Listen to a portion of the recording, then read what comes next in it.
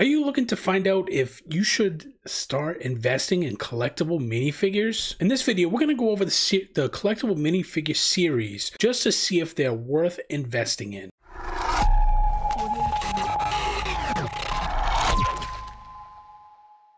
Hi, this is Jeremy Stock here from Brick Finds and Flips at brickflips.com. Welcome to the show today. Today we're going to focus on collectible minifigures, and by that I mean the minifigures that you get in the little bags that have one minifigure in it. So this is different than if you were to buy a set and you were to take it apart, uh, you know, open the, the box up and you get some Lego bricks in there, and then you also get some minifigures. These are actually the ones that are just separate that you would get just individually. Uh, usually these are found in the stores. You can find them in the front aisles, kind of near the registers, or they might be in just the Lego section of each store, or you can get them online as well.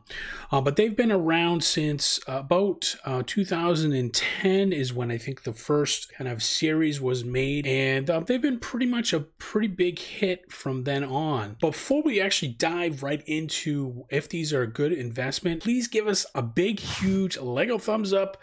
Let us know that this is a good video for you. Also, if you could, hit the subscribe button down below. That way there you get notified of any new videos that we do have. Now that we get that out of the way, let's get right into it. All right, so if you've been watching this for some time, you know I love to just, I, I really want to dive into the numbers of everything. You know, sure is, uh, you know, some of these things that you can just kind of napkin math it and kind of figure out from your own and you know kind of get an idea of what you're working with. But always to put down the numbers is really something i suggest to do any type of investment you know with legos or minifigures or anything like that. We're going to use this sheet right here. Uh, if you want to get this sheet you can go to brickflips.com slash roi and that way there you can you can kind of figure out what you know to play around with the different numbers in here. So we, we we're going to look at just uh, three different series. So these are basically series. So if you're not familiar with the collectible minifigures they come in a series so there's usually there's there's 12, there could be up to 20, maybe 16, depending on what series it is and they will actually have the little minifigures. So they'll have, you know, maybe 20 different minifigures that you can collect in each one or 16 or whatever the number is. It's really um, something that's going to vary per series in there.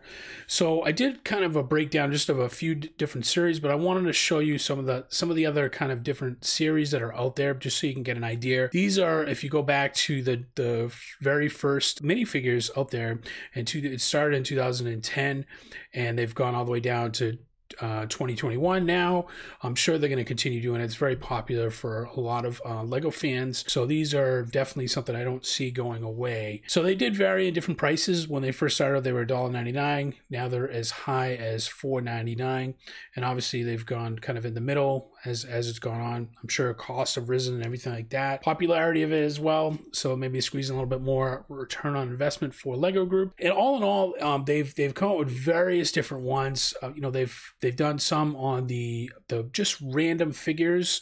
They've also done some on Disney and Simpsons, the Lego Movie, on Ninjago, Harry Potter. Uh, and then as recently they've done Looney Tunes and Marvel um, Marvel Studio uh, series, which is which just came out at the timing of this. Now, also in here, uh, this is I kind of broke everything down by figures themselves. Uh, you can always find this stuff on um, Brickset or Bricklink, you can kind of compile this all together if you really want to look at this, but I just put this here for easy sake of us looking at everything. There's a few different ways you can actually sell the, the minifigures themselves. Now, you can just sell them in the plain bag, not knowing what it is, and just, you know, you buy it for two bucks, maybe you sell it for eight dollars later on, and, you know, it, you obviously let the customer know what it is, or if you choose a you know, an Amazon listing that has it, it would be that it is a blind bag, so to speak, so nobody knows what's in it. The other way that you can sell it is you can open it up and just see which minifigure it is. Technically, if you don't put it together, it is considered new. Maybe you can sell that on Amazon, you can sell it on eBay, Bricklink, you know, various different places you could do that. That's that's you know another probably a popular way to do that, especially you know because a lot of people are going to probably pay a little bit more if you've already opened it up for them and you have a collection of those. That's kind of the sweet middle of it. The other way you could do it is you can just you know, sell it as a complete set. So maybe you might open them up. Um, maybe you might just do a feel of the bag, and I'll kind of get in that in a second here, and just see which characters it is before you open it up, and it keeps keeps it sealed. And then the other way is you can just buy a big box, a sealed box, you know, not opened, and you know you can sell it just like that as well. So I, I really in this I didn't want to get too too deep into all the different avenues, but I kind of try to give you a little bit of each one so that you can kind of get an idea of what to look for if you're gonna kind of get invest in this and sell it off later. What you what your options are for it. Um, I did suggest that that you take a look at is um, there is a feel guide. And I know that sounds kind of weird, but um, in each bag, there's different pieces for each character. And, uh, you know, Brothers Brick, uh, there's a bunch of other sites that do it, but they, they've actually gone and they've done like a feel guide. So you can just actually take the bag and you can feel to find a, a particular piece that's only in maybe that, that particular character itself so that you're able to distinguish it from it. Now, it does take some time if you've never done that before. Some people are probably better better at it than others. Uh, but I, I tried it myself, and it it once I got the hang of it, once I was able to get the feel of it, I was actually pretty pretty spot on because I, I did a, uh, a few different ones, and I also want to make sure I got it right. So I was, did have a pretty good. Um, I had hundred percent at least when I did it as far as the feel guide. Uh, some of them are a little bit harder than others, so you know it's going to vary per different series. But at least you can go out here, and if this is something that you want to do, and obviously, this takes time to do this, but I'll show you if it's worth it for you. I mean, maybe it is. I'm not really sure. Maybe it isn't. But this is one way that you can kind of get get in there. The other way is you can cut just like I said, you can just cut open the bag and you know exactly what figure is in there. But I'm going to be honest with you, some people like to actually do the feel guide of it and they want to know they have a complete set and they go through the whole thing. So there's a little bit extra value in there if you're able to provide that with them as a sealed set. You know, that just brings up the value, I guess, to some Lego fans. We're going to start off with, um, I kind of put it in the middle here, but we're going to go from the oldest to the newest ones. Um, so there's the 2014. This is the Lego Movie series set. So this is these these right here in this set. There's 16 of them. Uh, this came out in 2014. It retired around 2015 to 16, somewhere around there. You know, I'm not really certain the exact retirement date, but if you were to buy this, it would be a 2.99 retail price of it. Maybe you got some discount for $1.50, $2, somewhere around there. Uh, so if you were to sell this at just as the bag itself, you know, you would it's going for 1849 right now. And if you got it for $1.50 that'd be about a 768 uh, percent return on investment. But you know just be aware that this is a Keepa chart right here. If you haven't seen Keepa my training on Keepa is right up there. But this basically doesn't sell that often. It looks like maybe once a month and there's a big lag right in here. Maybe on bricklink ebay you might sell a little bit more and you might maybe want to sell it for less than that. You know, I'm just showing you guys the Amazon uh, as far as the aspect on Amazon. So it could be a better seller on eBay or Bricklink, and maybe it's a, not as much money for it. Maybe it's like 15 or 16 dollars uh, on there. But I just want to guys give you an idea of like what the value is. Now, just keep in mind that most of the time that when I do investing, I try to get my money back within about three years at the maximum. So this was kind of a little bit far out, and this might be too far out for a lot of folks as well if you're investing. But the good thing about these these minifigures is that you can buy a, a ton of them and store them for in a very small space.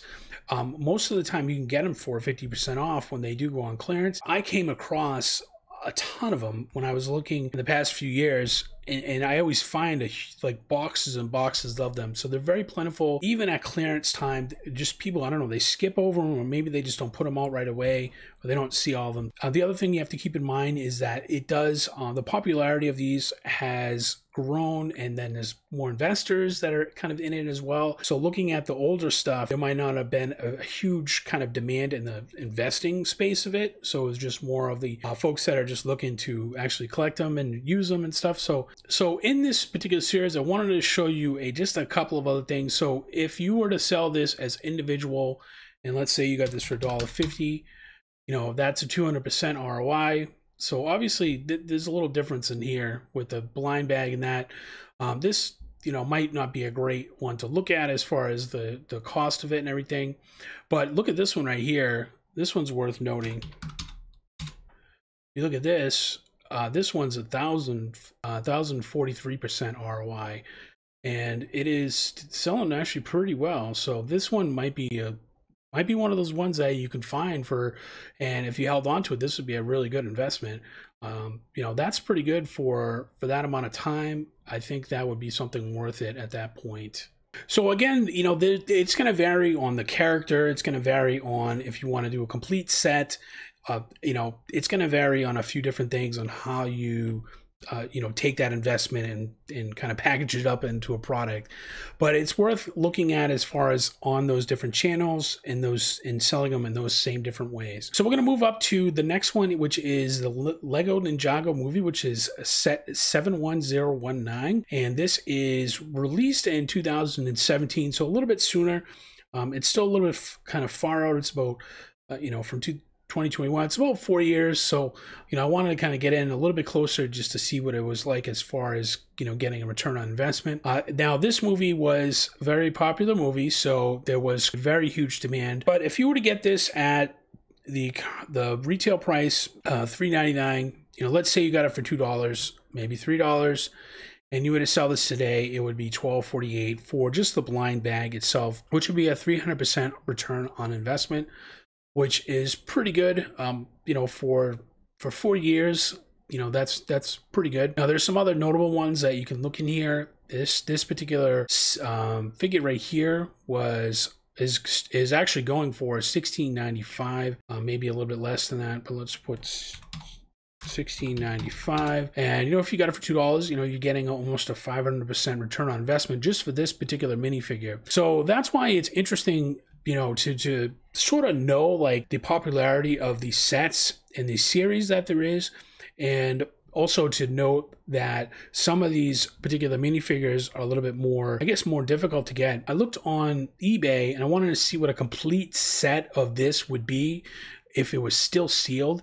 And it's going for about $135 with shipping. So if you were to get the, you were to get the reach, the sell price was 135 Buy cost was 40. eBay fees were 15%. So 135 times 0.15. And this is how you have to do to figure out your what your costs are because you know, if you don't do this stuff then you know, you're just guessing at what it is and sometimes you know, knowing that's different. So it's a return on investment of 187%. Not really that great, I'm going to be honest with you. Uh, that's not something I would be really happy with, you know, as far as doing all the work to like to feel each one out and that's all you're getting for a profit. That's not really that doesn't really cut it in my book, so to speak. But I don't know, you know, if you're just starting out, you know, and you get a whole supply of these things, you know, that might be something that you might be comfortable with starting out with. You could sell these, uh, like I said, at different ways, different channels and everything to see what you get for it. So the next series that we're going to go over is the Looney Tunes series. It is set 71030. Literally, It was released in 2021. It is still available, but they're not making any more as far as they're still out in the store. The retail price of these are $4.99. I was actually getting these for $1.25. I got them for different various costs. Uh, some of them were $2.49. Uh, you know, 50% off. Some of them are $1.25. This particular blind bag itself, though, is $4.99. What's interesting about this this series is that there seems to be a really big demand for these particular ones as opposed to some of the other ones that I like. I don't know if it's just the Looney Tunes. And again, this is where you know you have to know your your kind of your um, trends and everything out there and just the you know the what the demand is for it. So kind of knowing that. But you know if i were to sell uh, Wile E. Coyote just individually, I mean, that's already a 471% return on investment. Now, I don't know what this goes for in Bricklink or eBay. Um, so take a look out on there. There might be, you might be able to find this for a little bit cheaper, but on here, people are buying this for that price. I mean, the, the sales rank, as you can see, is, you know, they're selling it at that particular price. You know, it's worth noting that there's different ones out there. So maybe look and see individual ones and see which ones they are. But if you were to actually I did a just a test of one of them just to see if you know how much I could get. I, I built a few of these because I had a ton of them. So I did the field test on a lot of them, and I just put together um, three sets for myself, just so I can sell them. And I it, my cost came out because I didn't have a dollar twenty five in every single one of them, but it came out to about two dollars and fourteen cents, I think it was for each one. So that's twenty five sixty eight for the whole series of twelve and I sold these for um, actually I sold it for a little bit less than 78 but it was around $75 So that's 147% ROI. And that's really good right now. I mean, I literally just bought them and I listed them on there as a complete set. I feel them through. So maybe I had, I probably had about two hours in of work of just feeling them through to get three sets, maybe a little bit less because I didn't really know what I was doing at first. So I had to look everything up in the field guide and kind of get used to that. So it did take me a little bit longer, but once I got it, I probably could do, uh, you know, maybe much less than that. Maybe it'll take me, you know, 20 minutes for each series to to you know on average to to find a bag. So you know i don't know if that's really worth your time to do it but you know 147% right off the bat as soon as i got it it was sold. I mean they sold immediately as soon as i listed them up there. So that you know might be worth looking at for some particular series. And this is towards the end of the series so you know it wasn't right at the beginning of it. So I don't know. Now, if I held on to these, I don't know how much these would go up in value. I'm not really sure of the kind of the demand after a certain number. But um, for now, I think that was pretty good. Now, I don't know if this is good, if this was the case for every single series that you had, but it's definitely worth looking into. I mean, you know, it's just one of those things where you have some options to do it. Um, it is a pretty decent investment if on some of them. I don't think every single one of them are going to be, you know, home run heroes. Hopefully you found this really helpful. Um, if you want, again, you know, you can grab this return on investment sheet right here, and it has a bunch of different stuff in here. It calculates for shipping, even has a VIP calculator as well. Um, and this will kind of help you figure out if things are worth investing in. So really, I you know for this particular series, I'm going to say this varies. I'm not going to go after every single one of them, even if they're on clearance. I think the ones that aren't really popular, such as the just the regular ones that just are random figures, the ones that I when I looked at those ones, I didn't really care for those ones. They didn't really seem to do it for me. Uh, they didn't really seem to kind of go with the numbers, but maybe take a look at one of these other series. Maybe let me know in the comments if there's a particular series that seems to do really well that I just I just didn't examine all of them. There's so many of them as you can see in here. So if there's any particular series that you think is worth noting and maybe some reasons why, just drop a comment comment below because I, love to just know, you know, what you guys think as well. Well, hope you guys found this really helpful. If you could, please give us a like, smash that like button. Also, if you could, subscribe down below, hit the bell so you get notified of any new videos that we do have. Also, if you listen to us um, on a podcast, or even if you don't even know if we have a podcast, go up there and take a look at our podcast and leave us a positive review if you can, whichever streaming channel that you're on. And I'll see you guys on the next show.